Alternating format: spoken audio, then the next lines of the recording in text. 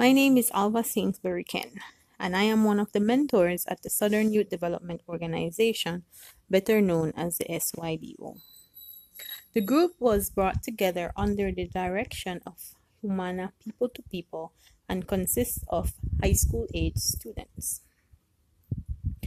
Through the Department of Youth Services, we were able to connect with UNICEF to utilize the Nex'Us platform to conduct a mental health conference as an activity for a third party support project.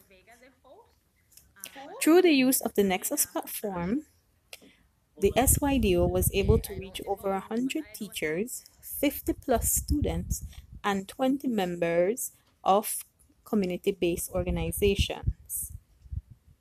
We were able to share information and to have live discussions on youth mental health and COVID 19's impact.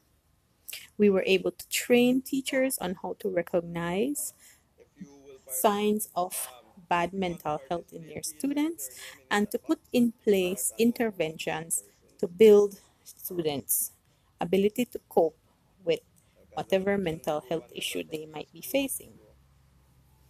Our experience using the platform was a great experience. The platform was a simple and easy tool to work with.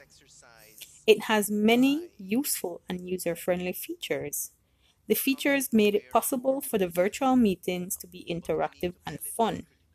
The platform also had the capacity to host many participants as well as creating small group workspaces where teens were able to meet with each other and interact on a more one on one basis. Based on our experience with the Nex'Us platform, we can see that we will continually utilize this service.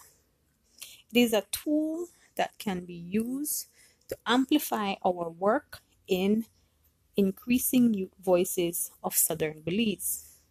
We highly encourage others to utilize this platform as well in whatever work that they might be doing. It can magnify your reach, grow your audience, and of course, it allows for greater participants participation of youths in the things that matter to them. The platform has great potential and will increase the impact of your organization's goals.